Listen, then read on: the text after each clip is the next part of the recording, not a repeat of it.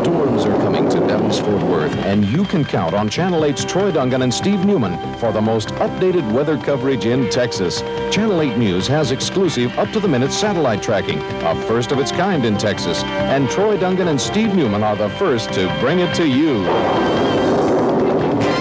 When bad weather heads in your direction, turn to News 8 for exclusive up to the minute satellite pictures and the most updated weather in Texas.